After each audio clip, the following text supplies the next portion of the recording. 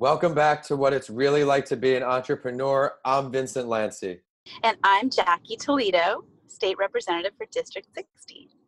Whether you're already an entrepreneur or looking to start your journey tomorrow, or just someone who needs a little extra motivation to get through the day, this is the perfect podcast for you. Each week, I will interview a different entrepreneur from across the globe. I will continue to offer episodes in all industries to provide you with many different perspectives. You never know which motivational journey will inspire you most. Each guest will take you through their story and help you learn from their successes and lessons learned. If you enjoyed today's episode, please rate the show five stars and continue listening by subscribing. My guest on the show today is someone I met when I traveled to the Florida State Capitol with Tampa General Hospital last year. It was my honor to share my story with her, and we reconnected when she returned back to Tampa. Today's guest is truly passionate about what she does for a living, and I think that will lead to many valuable lessons for you all listening on. She works tirelessly for the people of Hillsborough County, Florida, advocating for common sense solutions for our community. I am grateful to be in her district, and I am very grateful for her leading the way to banning texting while driving here in Tampa. She is an amazing leader and an even better person who has built her own brand, and she is here to talk about that today. I'm very much looking forward to learning more of your story, so allow me to please introduce Florida District 60 State Representative and last year's Florida Police Chiefs Association Legislator of the Year, Jackie Toledo. Jackie, thank you for coming on the show. Thank you so much for having me on the show. And, and like you said, some stories inspire different people, and just hit home to certain people. Your story, when I heard it, I was inspired and I thought, wow, you know, what endurance that you had. And I'm sure that many people have been inspired by your story. And we all have our different struggles in life. So I'm happy to be here uh, to join you today to talk about my story and, you know, how I got here. I'm excited to learn all about it. So, would you mind taking this time to please introducing yourself to our listeners a little more and previewing your story without giving away too much of that entrepreneurial journey? Absolutely. So I was born in Peru. Uh, I came to the U.S. when I was five years old. Uh, moved to California, and then basically my parents got divorced. Moved to Florida, and um, went to college at University of South Florida. Go Bulls! Got my civil engineering degree. Um, you know, and began my journey as an engineer you know, uh, working for others. So I'll give you that kind of background um, a little bit. And then after working as an engineer for a few years, started having babies. Uh, I had five children. So, um, and now they're, you know, getting bigger 9, 11, 13, 15, and 22. I can't believe it. So, but during that time, of course, there's had been many different changes in my life focused on my kids and my family, you know, raising them while they were babies, but then wanted to go back into the workforce. Um, so did a lot of engineering stuff, you know, when they were a little when they started school. But then the economy tanked as in 2008, 2009, and you know, engineering tends to lag behind a little bit because you always need engineers. But it was it slowed down tremendously. So at that time, I started a business um, in 2010 in something that I had no idea uh, about. It was a performing art camp. So, um, this I'm not a performer. I don't know how to sing, act, dance, but I'm very passionate about the arts. I love the arts and appreciate them, and I love kids. So I started a studio for um, a summer camp for kids called Tampa Creative Camps um, during that time where people had the need for summer camps, consistent um, care for their children during summer school. I mean, summer um, during the summers, and I it was hard for me to find as a parent. Um, so I decided to offer that to our uh, our community, and it was um, during that time that I learned to be an entrepreneur. Um, and you know, since then have been an entrepreneur in my engineering job, but when I started that job, I learned because not only did I have to learn the business, um, I also had to learn marketing, accounts receivables, all those things that go into building a business from scratch. So, you know, I was a little afraid of that, but at the same time, you know, ready for the challenge because I knew I had that passion and drive to um, offer those services to our community. Thank you for sharing all that, Jackie. I did not know all of that, so I'm excited to see where this episode's going to go. It's time for the big five. On each episode, my guest and I will go over these five questions to help you, the listeners, learn what it's really like to be an entrepreneur. Are you ready to go? Yes, absolutely. So, when did you realize that you either weren't happy with what you were doing or you just needed some kind of change to truly start this entrepreneurial journey? Please share those moments for us.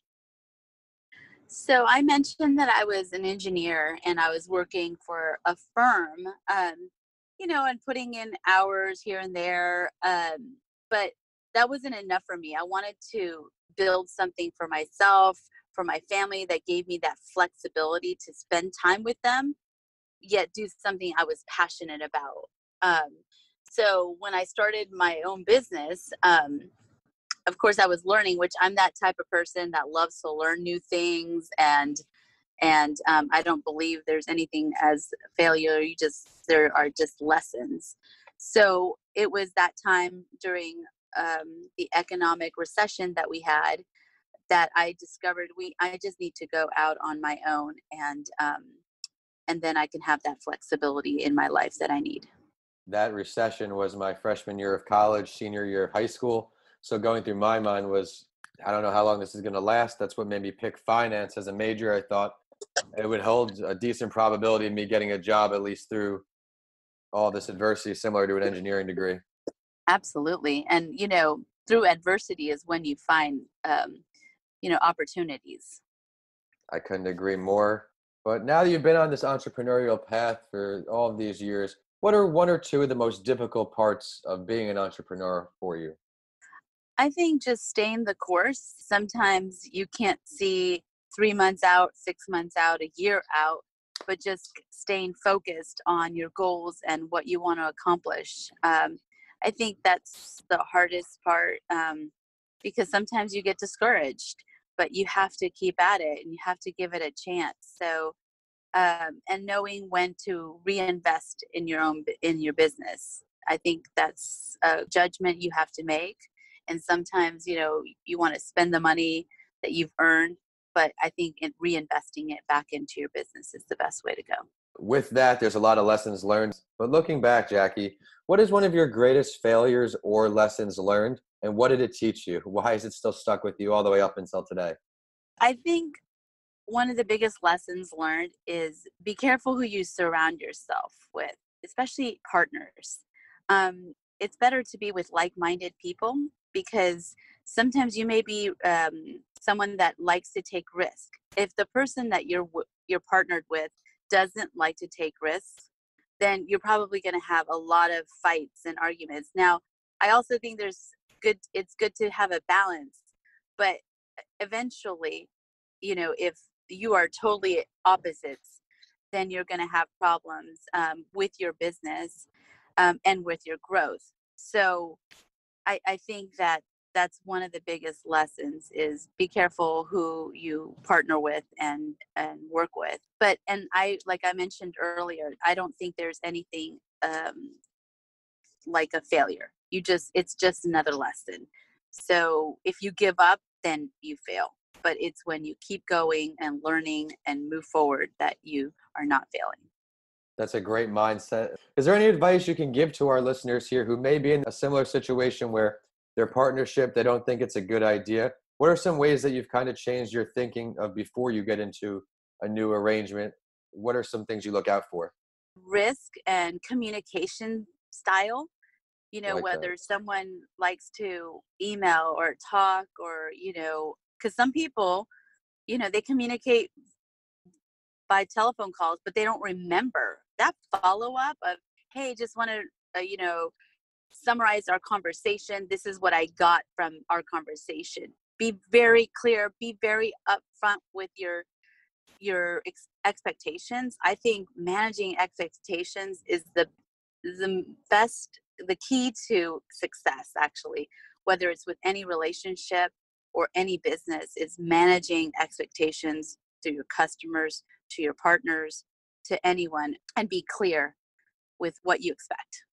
I couldn't agree with you more there, Jackie. Being transparent about your expectations, open communication, those are all things for a healthy relationship. I'm very optimistic and positive. So sometimes when I'm communicating with somebody, if they give me an ounce of optimism, like, you, oh, yeah, we may be able to do that. To me, I take that as it's going to happen. So going back to communication, if I don't go back and follow up with that person and say, okay, this is what I got out of our conversation, then, you know, then I may have disappointed them because they told me, no, I said may, not it will happen. So now you're taking it as you, I gave you my word. So just being very clear on that communication because that can happen to anybody. And it's been parts of, uh, I guess, the struggles in my life is the miscommunication with people. I love all the lessons that you've provided through communication and sharing your expectations. One of the most frustrating parts of my work career so far has been for the production of what was supposed to be my first children's book. Expectations were on the table each time, but communication was never both ways. I had my meetings canceled the morning of multiple times, and it was just excuse after excuse. So that relationship obviously didn't work out. But Jackie, if you had to pick any entrepreneur, dead or alive, to have a meeting with, sit down and learn from, who would it be? I'm excited to hear your answer because I know you are as well a lover of learning. It's interesting. I pick um, Madame Bollinger, um, and I love champagne. I'm a big champagne girl, um, but you know, Bollinger was an amazing story of a woman who was at a time the only woman that was um, in the champagne industry. And she was very successful. She used her story to kind of market herself and um, create a product that is timeless, I think. So I would just love to hear from her how she did it, how she kept going, how she, you know, differentiated herself from others and from other the, the other champagne houses in France um, and became so successful for so long. So let's look a little deeper here. If you could even pick where this meeting would be, where would you pick? Uh, definitely in France, in in the middle of the winery. Just love it. that would be amazing. So, I love the tips you've been sharing throughout the episode, Jackie let's stop and see what we're working on right now for you and also look in the future. What are we seeing from Jackie Toledo right now and also a year and five years out? Well, that's hard to tell because I'm in politics, so you never know. It changes uh, almost daily now, but um, you're just I just always being prepared to take the step that God leads me in, um, and also, you know, the community needs. So whether it's continuing on the path that I'm in or going to another um, position or just stepping back and taking what I've learned to make our community better, I think um, it's just unknown right now. But as far as business goes, um, you know, I, I hope to be independent and my my business self-sustaining while I'm able to do um, my political career as well. Right now, while we're on the political career, let's give a little more information for everybody listening on, especially our Tampa listeners. When is the election? What are some things we're passionate about with you? So I was elected in 2016, four years ago, and um, you know, I have an election every two years uh, for state representative, and my general election is on November 3rd. So I'm passionate, as you know, about public safety and was yep. successful in banning texting and driving and making it primary offense. Um, but I would like to see our state go hands free. I think that making it clear that, you know, being distracted is unacceptable. So focusing on driving um, is is what we should be doing when we're in in a car. So that is one of the biggest passions that i have but i'm also concerned about our healthcare system and you know the cost of healthcare continues to rise and i've been working on trying to reform the prescription drug cost to lower those costs by you know reforming the pbms which are pharmacy benefit managers. They're a middleman in the prescription drug world and they're they're contributing to the cost of prescription drugs so i want to see some changes there to help save money to keep people healthy and to keep um, our health care affordable Thank you for sharing all that, Jackie. I'm certainly excited to see all that your future holds. And now it is time for the Spotlight Story. On each episode, I share an entrepreneurial journey to inspire our listeners, and I would love your take on it. For today's episode, I will introduce the entrepreneurial path of Gabrielle Coco Chanel, the founder of Chanel. She was born in 1883 and raised at an orphanage in France. When she was 12 years old, her mother died and her father abandoned her. She was sent to an aubazine in central France. The nuns from the orphanage taught her how to sew, and she later used her skills as a seamstress to change her life. She opened up her first shop at 21 years old in Paris and soon became the first female to introduce casual wear to women's fashion. This innovative entrepreneur used men's fabric to popularize comfortable sportswear, simple dresses, and women's pants. Her designs in Paris heavily influenced the fashion industry, and Chanel changed the face of women's fashion forever. Present day, right now, the current owners of Chanel are worth around $19 billion, and Chanel continues to be a symbol of total luxury. Jackie, what do you like best about this story? Well, I am a huge a fan of Coco Chanel. So um, I love every part of this story. I, I feel like she took her situation and instead of you know being victimized by it she took it she developed a skill set she got that skill set and um, became an icon i mean i'm a as a fashionista i admire her i look up to her and i'm so impressed by you know the empire that she has built that has been again timeless too um, when you know you look at chanel's whether her purses or clothes it's very symbolic and and has a texture and feel to it and look to it that everyone can identify. So I, I, I love that she took this skill set, and I think everyone should be able to either find something that they're skilled in or passionate about and just run with it and do what she has done.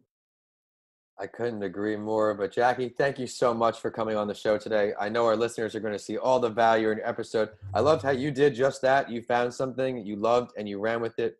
I loved your how you're doing everything as a mother of five. The difficult parts of an entrepreneur are going to relate to everybody listening on. But it is time for the last word. And I also do this on my other podcast series, A Mental Health Break with Vincent A. Lanci, because I want my listeners to really get to know the guests I bring on is there something that you would like to share with everybody listening that we did not get to touch on yet today? Yes, I just want to say that there's never a good time to make a change. I mean, some people are afraid of change, some people are afraid to leave their job, to start a business, to run for office. It's just never a good time. You just need to go and do it and learn the lesson from trying.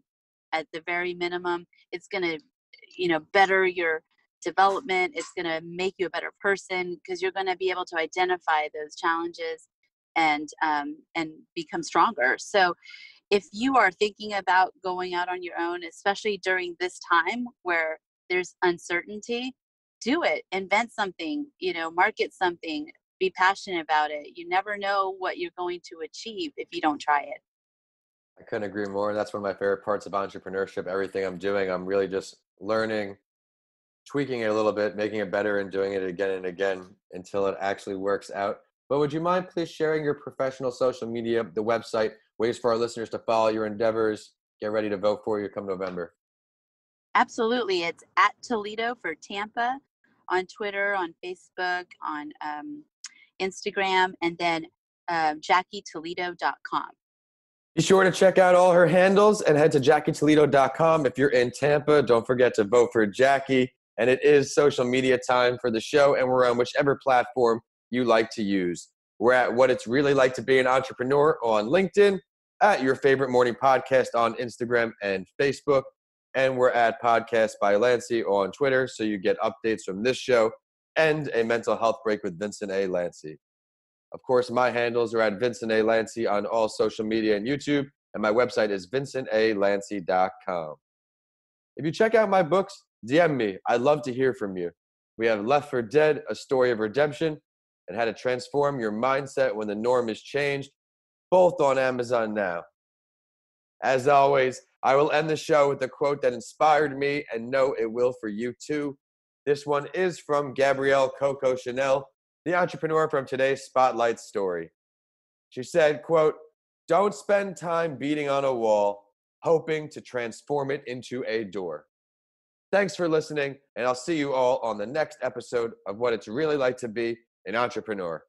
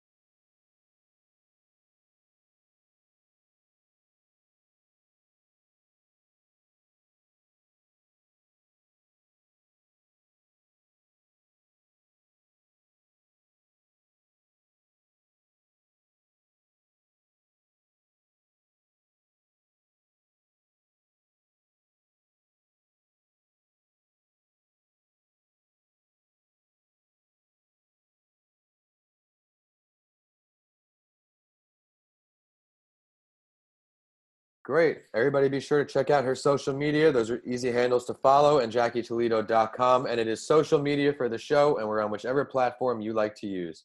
We're at What It's Really Like to Be an Entrepreneur on LinkedIn, at Your Favorite Morning Podcast on Instagram and Facebook, and Podcasts by Lanci on Twitter so you get updates from this show and a mental health break with Vincent A. Lanci. Of course, my handles are at Vincent A. Lanci for all social media and YouTube, and my website is vincentalanci.com. If you check out my books, DM me. I would love to hear from you. We have Left for Dead, A Story of Redemption, and How to Transform Your Mindset When the Norm is Changed. Both are on Amazon now. As always, I will end the show with a quote that inspired me and know it will for you too. This one is from Gabrielle Coco Chanel, the entrepreneur from today's Spotlight story I ended the show with. She said, Don't spend time beating on a wall, hoping to transform it into a door Thanks for listening, and I'll see you all on the next episode of What It's Really Like to Be an Entrepreneur. That was awesome, Jackie. Thank you.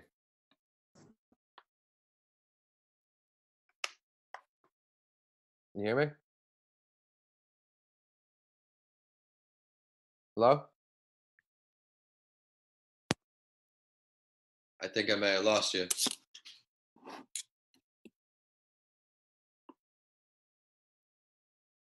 Can you hear me?